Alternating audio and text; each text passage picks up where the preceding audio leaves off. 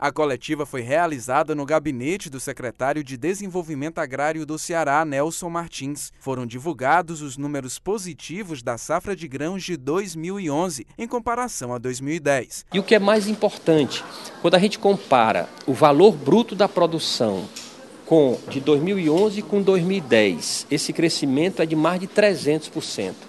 E quando você compara o valor bruto da produção com o ano de 2006, que foi a última, o último recorde histórico, esse crescimento chega a 72%. A Emates, empresa que presta assistência técnica rural no estado, receberá investimentos para a implantação de novos escritórios no interior. Qualquer agricultor pode procurar o nosso escritório, pode procurar os nossos técnicos, porque o mais importante é que essa assistência técnica é gratuita.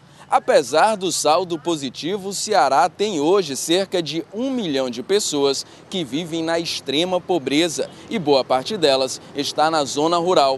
Então, ainda há muito o que fazer.